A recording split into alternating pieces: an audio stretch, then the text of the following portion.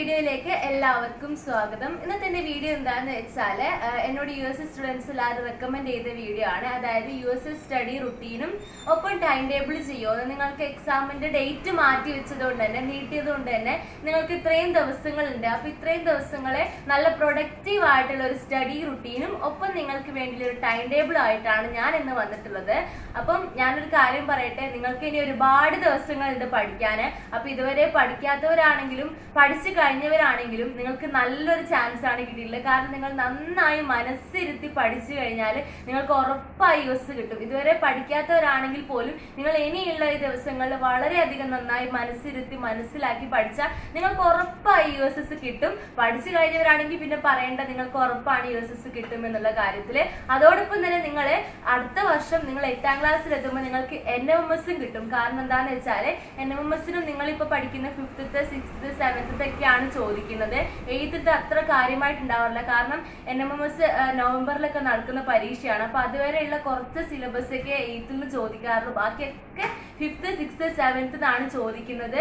അങ്ങനെയാണ് അധികം അധിക പേരും പറഞ്ഞിട്ടുള്ളത് എൻ എം എസ് എഴുതിയവരൊക്കെ. അപ്പൊ അതുകൊണ്ട് നിങ്ങൾക്ക് ഈ വർഷം ഈ ഒരു യു എസ് എസിന് വേണ്ടി മനസ്സിരുത്തി പഠിച്ചു കഴിഞ്ഞാൽ രണ്ടെണ്ണമാണ് കിട്ടാൻ പോകുന്നത്. ഒന്ന് യു എസ് എസ് ഉറപ്പായി കിട്ടും. അടുത്ത വർഷം എൻ എം എം എസ് കിട്ടും. അപ്പൊ അതുകൊണ്ട് എല്ലാവരും ഞാൻ ഈ തരുന്ന ഈ റുട്ടീനും ടൈം ടേബിളും ഫോളോ ചെയ്തോളൂ ഇന്ന് തൊട്ട്.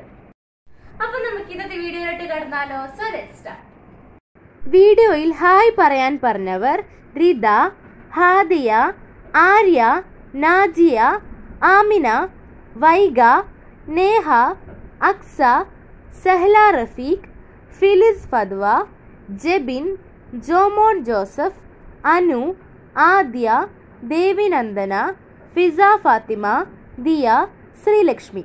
എല്ലാവർക്കും ഹായ്.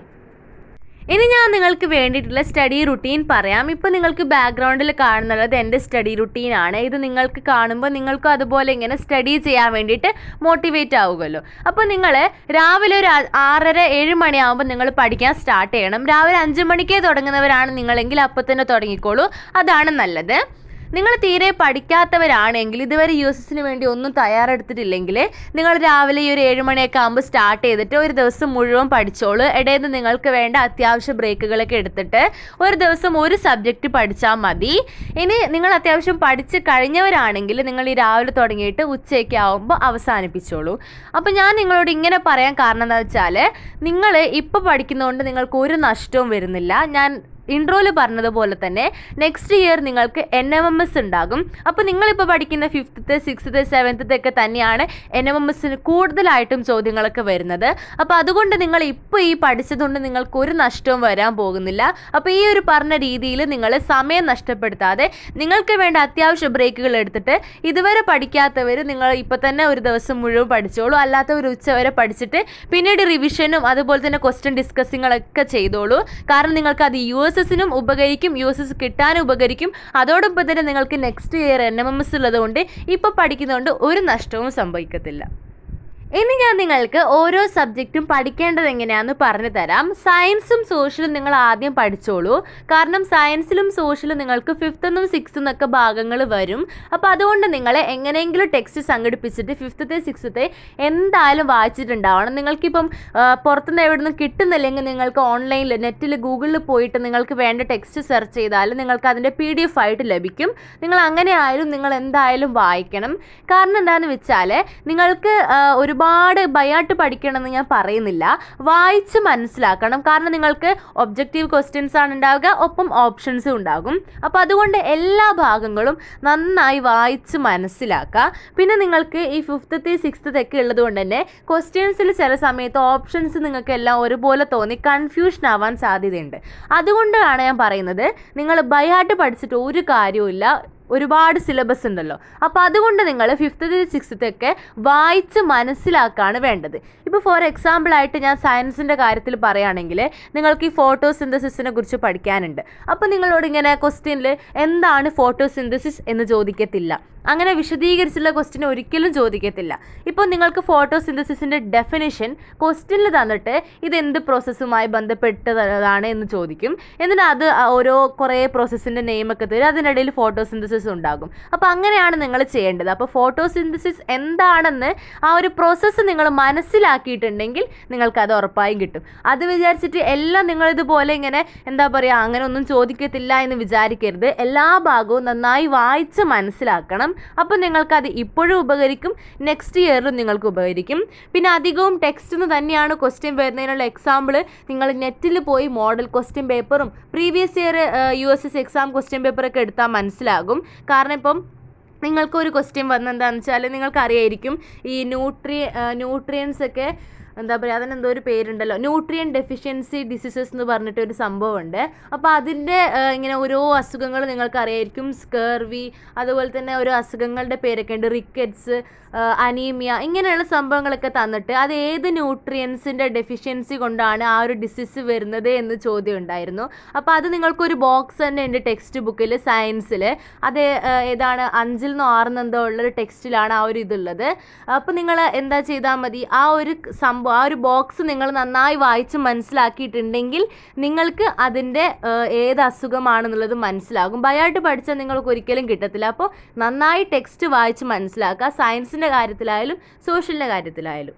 ഇനിയിപ്പോൾ പഠിക്കുന്ന സമയത്ത് ഈ ടെക്സ്റ്റ് ഒക്കെ എടുത്ത് വായിച്ച് പഠിക്കുമ്പോൾ ഇത് എങ്ങനെയാണ് പഠിക്കുക ഇത് ഒരുപാടുണ്ടല്ലോ. പറഞ്ഞ് നിങ്ങൾക്ക് ഒരു ഐഡിയ കിട്ടുന്നില്ലെങ്കിൽ നിങ്ങൾ നെറ്റിൽ പോവുക previous year exam U S എസിന്റെ ഒരു മൂന്നാൽ വർഷത്തിന്റെ ക്വസ്റ്റ്യൻ എടുക്കുക നന്നായി വായിക്കുക അപ്പോൾ എല്ലാം നിങ്ങൾക്ക് ഇങ്ങനെ വായിക്കുന്ന സമയത്ത് മനസ്സിലാകും ഏത് മോഡലിലാണ് ക്വസ്റ്റ്യൻ വരുന്നത് ഏതൊക്കെ രീതിയിലാണ് വരുന്നത് എന്നുള്ളൊക്കെ കാര്യങ്ങളൊക്കെ മനസ്സിലാകും. അപ്പോൾ ആദ്യം നിങ്ങൾ ക്വസ്റ്റ്യൻ എടുത്തിട്ട് മോഡൽ മനസ്സിലാക്കിയതിന് ശേഷം വായിച്ച് മനസ്സിലാക്കി പഠിക്കുക ഇനി അഥവാ നിങ്ങൾ ഈ ഒരു രീതിയിൽ പഠിക്കുമ്പോൾ നിങ്ങൾക്ക് കൺഫ്യൂഷനൊന്നുമില്ല ഏകദേശം നിങ്ങൾ വായിച്ച് പഠിച്ച് കഴിഞ്ഞവരാണ്. അല്ലെങ്കിൽ വായിച്ച് പഠിച്ചുകൊണ്ടിരിക്കുകയാണ് എന്തെങ്കിലും എന്നാണ് എങ്കിൽ നിങ്ങൾ നന്നായി വായിച്ച് പഠിച്ചതിന് ശേഷം ഇതേപോലെ തന്നെ നെറ്റിൽ നിന്ന് നിങ്ങൾ previous year U S S exam ക്വസ്റ്റിനും model questions ഒക്കെ എടുത്തിട്ട് നിങ്ങളൊരു എക്സാം ഇടുക. ഇങ്ങനെ എക്സാം ഇട്ട് കഴിഞ്ഞാൽ നിങ്ങൾക്ക് എത്ര സമയം കൊണ്ടാണ് നിങ്ങൾക്ക് ചെയ്തു തീരുന്നത്? സ്പീഡാവാനുണ്ടോ അതുപോലെ എന്തൊക്കെ കാര്യങ്ങൾ നിങ്ങൾക്ക് മനസ്സിലായി? എങ്ങനെ എക്സാം എഴുതുന്നുള്ള മോഡലൊക്കെ നിങ്ങൾക്ക് കിട്ടും. പിന്നെ നിങ്ങൾക്ക് വേണമെന്നുണ്ടെങ്കിൽ ഗൈഡ് ഉള്ളവരാണ് നിങ്ങളെടുത്ത് ആ ബബിൾ ചെയ്യുന്നതിന്റെയൊക്കെ ഷീറ്റ് നിങ്ങളുടെ ഗൈഡിൽ ഉണ്ടാകും അല്ലെങ്കിൽ നിങ്ങൾക്ക് പ്രിന്റ് എടുത്താൽ മതി. എന്നിട്ട് നിങ്ങൾ അതുപോലെ ചെയ്താൽ നിങ്ങൾക്ക് എങ്ങനെയാണെന്നുള്ള മോഡൽ കിട്ടും. ഇനി ഞാൻ നിങ്ങൾക്ക് ലാംഗ്വേജ് സബ്ജക്റ്റായ മലയാളം ഇംഗ്ലീഷ് എങ്ങനെയാണ് പഠിക്കേണ്ടതെന്ന് പറഞ്ഞുതരാം. മലയാളത്തിന് ഞാൻ ആദ്യം പറയാം. മലയാളം നിങ്ങൾക്ക് മലയാളത്തിന് നിങ്ങൾ സബ്ജക്റ്റായി എടുത്തവരാണെങ്കിൽ നിങ്ങൾക്ക് രണ്ടും മലയാളം തന്നെയാണ് ഉണ്ടാവുക. അറബിക്ക് സംഭവങ്ങളൊക്കെ ഈസി ആണെന്ന് തോന്നുന്നുണ്ട്. അറബിക്ക് ഉറുദു ഒക്കെ. പക്ഷെ മലയാളം ഫസ്റ്റ് കേരള പാഠാവൽ നിങ്ങൾക്ക് കുറച്ച് ടഫാണ് പക്ഷെ മലയാളം സെക്കൻഡ് എല്ലാവർക്കും കോമൺ ആയിട്ടുള്ളതാണല്ലോ. അപ്പോൾ അത് കുറച്ച് ഈസിയാണ് അപ്പോൾ നിങ്ങൾ ഈ മലയാളം ഫസ്റ്റ് നിങ്ങൾക്ക് ടഫാണുള്ള കാരണം എന്താണെന്ന് വെച്ചാൽ നമ്മൾ ടെക്സ്റ്റിലുള്ളത് ഇപ്പോൾ സയൻസിന് സോഷ്യലിനൊക്കെ നിങ്ങൾക്ക് ഫിഫ്ത്തത്തെ സിക്സ്ത്തത്തെ ഒക്കെ ടെക്സ്റ്റ് എടുത്ത് വായിച്ചാൽ മതി. പക്ഷെ അങ്ങനെയല്ല മലയാളത്തിൽ നിങ്ങൾക്ക് ടെക്സ്റ്റിലുള്ളതല്ല വരുന്നത്. പുറത്തുനിന്ന് കുറച്ച് ചോദ്യങ്ങളൊക്കെ വരുന്നുണ്ട്. അപ്പോൾ അതുകൊണ്ട് നിങ്ങൾ ഗൈഡ് ഉള്ളവരാണെങ്കിൽ നിങ്ങളുടെ ഗൈഡിൽ നിങ്ങൾക്ക് ഒരുപാട് മലയാളത്തിന്റെ എക്സ്ട്രാ കുറേ ഏരിയ കാണുന്നുണ്ടാകും. അപ്പോൾ അതിലെല്ലാം വായിക്കാൻ ഒരുപാടുണ്ടാകും. അപ്പോൾ നിങ്ങൾ എന്താ ചെയ്യേണ്ടതെന്ന് വെച്ചാൽ അതിൽ നിന്നും കുറച്ചൊക്കെ വായിച്ച് മനസ്സിലാക്കുക.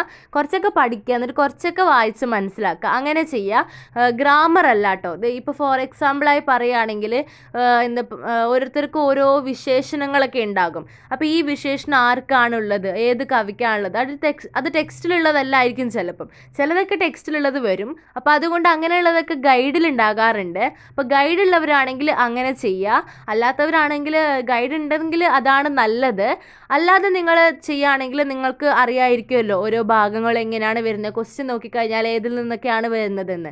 അപ്പോൾ നിങ്ങൾക്ക് ക്വസ്റ്റ്യൻ എടുത്ത് നോക്കിയിട്ട് അതിലേതൊക്കെയാണ് വരുന്നത് ആ ഒരു കാര്യങ്ങൾ നിങ്ങൾ നെറ്റിൽ നോക്കിയിട്ട് ചെയ്താലും മതിയാകും. ഇനി ഇംഗ്ലീഷ് എങ്ങനെയാണെന്ന് വെച്ചാൽ ഇംഗ്ലീഷ് നിങ്ങൾക്ക് ഗ്രാമറാണ് വരുന്നത്. അപ്പോൾ അതിന് നിങ്ങൾ മെയിനായിട്ട് ചെയ്യേണ്ടത് ടെക്സ്റ്റ് നന്നായി വായിക്കുക. ടെക്സ്റ്റ് തന്നെ വായിക്കുക. സെവൻത്തത്തെ ടെക്സ്റ്റ് തന്നെ വായിക്കുക. പിന്നെ നിങ്ങൾ എന്താ ചെയ്യേണ്ടത്? വെച്ചാൽ ഗ്രാമർ നിങ്ങൾക്ക് മനസ്സിലാവുന്നില്ല എങ്കിൽ നിങ്ങൾ വിക്ടേഴ്സ് ചാനൽ ഉണ്ടാവുമല്ലോ. ആ പിന്നെ ടെക്സ്റ്റ് മാത്രമല്ല ഗൈഡ് ഉള്ളവരാണെങ്കിൽ ഗൈഡും വായിക്കുക. കാരണം നിങ്ങൾക്ക് ടെക്സ്റ്റിലുള്ള ഓരോ ഗ്രാമറിനെ വിശദീകരിച്ച് അതിന്റെ എക്സാമ്പിൾസ് ഒക്കെ കൊടുത്ത് ഗൈഡിൽ ഉണ്ടാകാറുണ്ട്. അപ്പോൾ ആ ഒരു എക്സാമ്പിളൊക്കെ നിങ്ങൾ നോക്കിക്കഴിഞ്ഞാൽ നിങ്ങൾക്ക് കുറച്ചും കൂടി നന്നായിട്ട് മനസ്സിലാകും. ഇനി ഗൈഡ് ഇല്ലാത്തവരാണെങ്കിൽ നിങ്ങൾ വിക്ടേഴ്സ് ചാനലിൽ ക്ലാസ്സുകളൊക്കെ ഉണ്ടാവുമല്ലോ. അപ്പോൾ നിങ്ങൾക്ക് ക്ലാസ് എടുക്കുന്ന സമയത്ത് ഗ്രാമറിനെ കുറിച്ചുള്ള നോട്ട്സ് ഒക്കെ തന്നിട്ടുണ്ടാവുമല്ലോ. അപ്പോൾ ആ നോട്ട്സ് നിങ്ങൾ വായിക്കുക. ഒപ്പം നിങ്ങൾ സിക്സ്ത്തെ ഫിഫ്ത്തത്തെ ഗ്രാമറൊക്കെ നിങ്ങൾക്ക് വേണമെന്നുണ്ടെങ്കിൽ ഗൈഡ് ഇല്ലാത്തവരാണെങ്കിൽ സിക്സ്ത്തെ ഫിഫ്ത്തത്തെ വിക്ടേഴ്സ് ചാനൽ യൂട്യൂബിൽ ക്ലാസ് ഉണ്ടാവുമല്ലോ. അത് നിങ്ങൾ എടുത്ത് നോക്കിയിട്ട് അവർക്ക് ഏതൊക്കെയാണ് ഗ്രാമർ ഉള്ളതെന്ന് നോക്കുക അപ്പോൾ നിങ്ങൾക്ക് സമയം ദിവസങ്ങൾ ഉള്ളത് കൊണ്ടാണ് ഞാൻ ഇതൊക്കെ ചെയ്തോളൂ എന്ന് പറയുന്നത്. അപ്പോൾ അങ്ങനെ ചെയ്യുക ഇംഗ്ലീഷിൽ അപ്പോൾ ഇംഗ്ലീഷിൽ നന്നായി ടെക്സ്റ്റ് ഗൈഡൊക്കെ വായിക്കുക. അപ്പോൾ മലയാളം ഇംഗ്ലീഷ് നിങ്ങൾ ഗൈഡ് ഉണ്ടെങ്കിൽ നിങ്ങൾക്ക് കുറച്ചും കൂടി ഈസി ആകും. പിന്നെ മലയാളത്തിൽ നിങ്ങൾക്ക് ഓപ്ഷൻസ് അധികവും വരുന്ന എങ്ങനെയാണെന്ന് വെച്ചാൽ കുറച്ച് കൺഫ്യൂഷൻ ആകുന്ന രീതിയിലാണ്. കാരണം എല്ലാ ഓപ്ഷൻസും ഏകദേശം ഒരുപോലെ തോന്നും. അങ്ങനെ ഒരു കൺഫ്യൂഷൻ വരാറുണ്ട്. അപ്പോൾ അതുകൊണ്ട് നിങ്ങൾ പഠിക്കുന്ന കാര്യം ഏതാണോ അത് നന്നായി വായിച്ച് മനസ്സിലാക്കുക. അപ്പോൾ നിങ്ങൾക്ക് മലയാളം ടഫായിട്ട് തോന്നുന്നുണ്ടെങ്കിൽ നിങ്ങൾ ബാക്കി സയൻസിലും സോഷ്യലിലൊക്കെ കുറച്ച് അധികം ടൈം കൊടുത്ത് അത് നന്നായി പഠിച്ചോളൂ. നിങ്ങൾക്ക് തീരെ മനസ്സിലാവുന്നില്ല എങ്കിൽ ഇനി കറണ്ട് അഫെയർസ് ഉണ്ടാകാറുണ്ടല്ലോ. അപ്പോൾ കറണ്ട് അഫെയർസ് നിങ്ങൾ ഞാൻ ഒരു വീഡിയോ ചെയ്തിട്ടുണ്ട്. പക്ഷെ അതിൽ കുറച്ചേ ഉള്ളൂ. നിങ്ങൾക്ക് ഇനിയിപ്പോൾ പുറത്തുനിന്ന് ബുക്ക് വാങ്ങാൻ പറ്റുന്നില്ലെങ്കിൽ അതിന്റെ ഒരു ആപ്പ് ഉണ്ട്. കറണ്ട് അഫെയർസിന്റെ ഒരു ആപ്പ് ഉണ്ട്. കറണ്ട് അഫെയർസ് രണ്ടായിരത്തി ഇരുപത് ഇരുപത്തൊന്നിന്റെ ഒരു ആപ്പ് ഉണ്ട്. പ്ലേ സ്റ്റോറിൽ പോയി നോക്കിക്കഴിഞ്ഞാൽ നിങ്ങൾക്ക് കിട്ടും. എന്നിട്ട് അതിലുള്ള ക്വസ്റ്റ്യൻസ് ഡെയിലി ചെയ്താൽ മതി. പിന്നെ എന്താണെന്ന് വെച്ചാൽ മാത്സ് ആണ്. മാത്സ് എങ്ങനെയാണെന്ന് വെച്ചാൽ നിങ്ങൾ ചെയ്താണ് പഠിക്കേണ്ടത്. നിങ്ങൾക്കിനി ഐഡിയ ഒന്നും കിട്ടുന്നില്ല എങ്കിൽ നിങ്ങൾ ക്വസ്റ്റ്യൻ പേപ്പർ എടുത്തിട്ട് നിങ്ങൾ അതിലെങ്ങനെയാണ് വന്നതെന്നുള്ള മോഡൽ നോക്കുക. അപ്പോൾ നിങ്ങൾ അങ്ങനെ ചെയ്യുക അപ്പോൾ നിങ്ങൾ മോഡൽ ക്വസ്റ്റ്യൻസ് എടുത്ത് നോക്കുക അപ്പോൾ അതിന് ഞാൻ എന്റെ മെയിൻ ചാനൽ റനാൻജ് മഷ്റഫിൽ ഞാനൊരു വീഡിയോ ഇട്ടിട്ടുണ്ട്. അതായത് മാത്സിന് നിങ്ങൾക്ക് ഇക്വേഷൻസ് യു എസ് എസിന് ഏതൊക്കെയാണ് വേണ്ടതെന്ന് പറഞ്ഞിട്ട്. അപ്പോൾ ആ വീഡിയോ നോക്കിയിട്ട് ആ ഇക്വേഷൻസ് ഒക്കെ എഴുതിയെടുക്കുക അതല്ലാതെ നിങ്ങൾക്കും വേറെ ഇക്വേഷൻ അറിയെങ്കിൽ അതൊക്കെ നിങ്ങൾ എഴുതിയെടുത്ത് നിങ്ങൾ ബയാട്ട് പഠിക്കുക അതിനുശേഷം നിങ്ങൾ ക്വസ്റ്റ്യൻ പേപ്പേഴ്സ് എടുത്തിട്ട് മോഡൽ എങ്ങനെയാണ് വരുന്നത് നിങ്ങളൊന്ന് ചെയ്ത് നോക്കുക ഈ ഇക്വേഷൻസ് ഒക്കെ വെച്ചിട്ട്. അറിയാത്ത ഭാഗങ്ങൾ ഏതാണോ നിങ്ങൾ യൂട്യൂബിൽ സെർച്ച് ചെയ്യുക. ഒരുപാട് സാറുമാരെ ഒക്കെ ഉണ്ടാകും. അതൊക്കെ നോക്കിയിട്ട് ആ സാറുമാർ ചെയ്യുന്നതിനൊപ്പം തന്നെ ചെയ്യുക. അവരെന്തെങ്കിലും ഈസി ആയിട്ടുള്ള ഇക്വേഷൻസോ ട്രിക്സോ പറഞ്ഞിരുന്നുണ്ടെങ്കിൽ അതും നിങ്ങൾ എഴുതിയെടുത്ത് പഠിച്ചു വെക്കുക. എന്നിട്ട് നിങ്ങൾ ക്വസ്റ്റ്യൻ പേപ്പേഴ്സ് എടുക്കുക നന്നായി ചെയ്യുക അറിയാത്ത ഭാഗങ്ങൾ ക്ലാസ് നോക്കുക. എല്ലാം കഴിഞ്ഞ ശേഷം അവസാനം നിങ്ങളൊരു എക്സാം ഇട്ട് നോക്കുക. നിങ്ങൾക്ക് എത്രത്തോളം അറിയുന്നുണ്ട് എന്നുള്ളതൊക്കെ നിങ്ങൾ ചെയ്തു തന്നെയാണ് മാത്സ് പഠിക്കേണ്ടത്. ഇത്രയൊക്കെയാണ് നിങ്ങളുടെ U S study റുട്ടീന് time table എന്താണെന്ന് വെച്ചാൽ ഇത് തന്നെയാണ്. ഞാൻ നേരത്തെ പറഞ്ഞവരെ പഠിക്കാത്തവരും പഠിച്ചു കഴിഞ്ഞവർ ചെയ്യേണ്ട രീതിയിൽ പഠിക്കാത്തവരാണെങ്കിൽ രാവിലെ തൊട്ട് രാത്രി വരെ നിങ്ങൾക്കൊരു റുട്ടീനാണ് അല്ലാത്തവർ ഉച്ച വരെ ചെയ്യുക അതിൽ നിങ്ങൾ നിങ്ങളുടെ ഓരോ കാര്യങ്ങളൊക്കെ ചേർത്ത് ഇടയിൽ നിന്ന് കുറച്ച് ബ്രേക്ക് കൊടു ബ്രേക്കൊക്കെ കൊടുത്തിട്ട് നിങ്ങൾ ടൈം ടേബിൾ ഉണ്ടാക്കുക. നിങ്ങൾക്ക് വേണമെങ്കിൽ ഇഷ്ടം പോലെ ടൈം ടേബിൾ ഞാൻ ചെയ്തിട്ടുണ്ട്. പക്ഷേ ഇപ്പോൾ നിങ്ങൾക്ക് പുതിയ രീതിയിലായല്ലോ എക്സാമിന്റെതൊക്കെ അപ്പോൾ അതുകൊണ്ട് നിങ്ങൾ ഈ ഒരു രീതി അനുസരിച്ച് ഈ ഒരു റുട്ടീൻ അനുസരിച്ച് നിങ്ങളൊരു ടൈം ടേബിൾ ഉണ്ടാക്കുക. ഡെയിലി ഒരു ടു ഡു തയ്യാറാക്കിയിട്ട് അതനുസരിച്ച് ഫോളോ ചെയ്യുക. എല്ലാവർക്കും ഓൾ ദി ബെസ്റ്റ്.